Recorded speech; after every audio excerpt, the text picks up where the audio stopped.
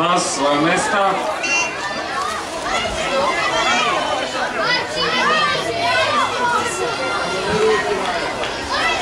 Šesta grupa, 50 metara prsno muškarci.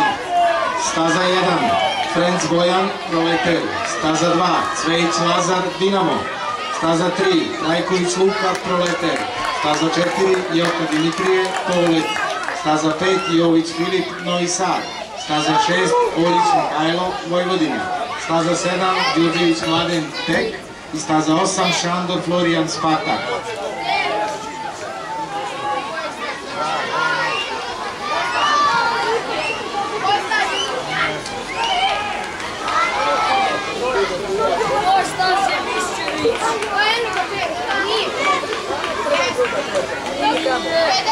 Yes. Thank you.